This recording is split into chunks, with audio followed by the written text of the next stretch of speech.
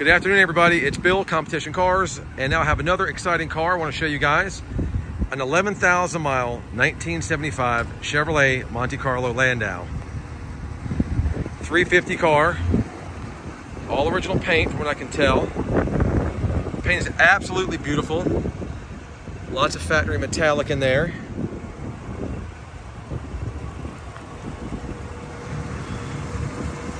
Laser straight body. Sitting there running like a champ. Four brand new tires. Paint corrected, ceramic coated, detailed to the max.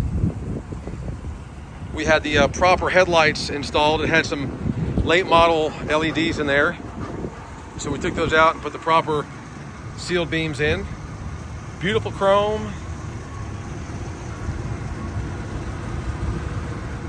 Not much at all you can pick on this car, guys. One thing I'm going to show you, I have no idea what it is. Maybe you guys can help me figure it out. Almost looks like something from the factory that there's almost like a little, it's gonna be hard to see. I can see it in the light, but there's a little swoosh from here to here.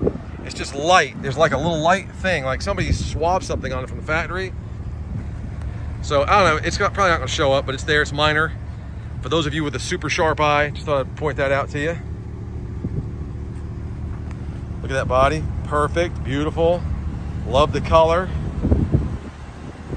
Quick peek at the interior. I'll do a full walk around video and a full interior video later. This is just a quick little quickie I'm doing.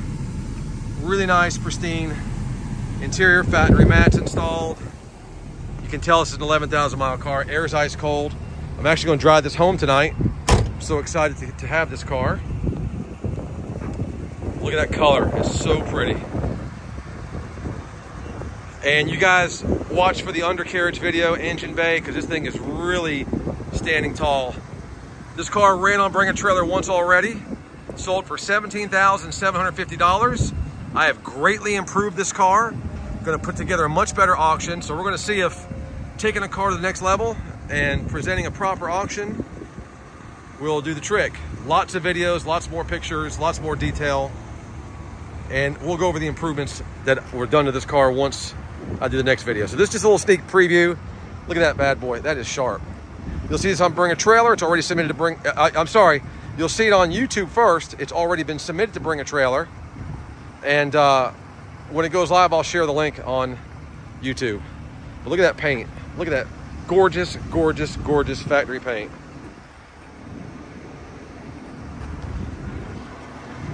And if you pay attention to the inside pictures, it almost looks like there's some light checking going on but it's really outside the natural light. It's really hard to see it.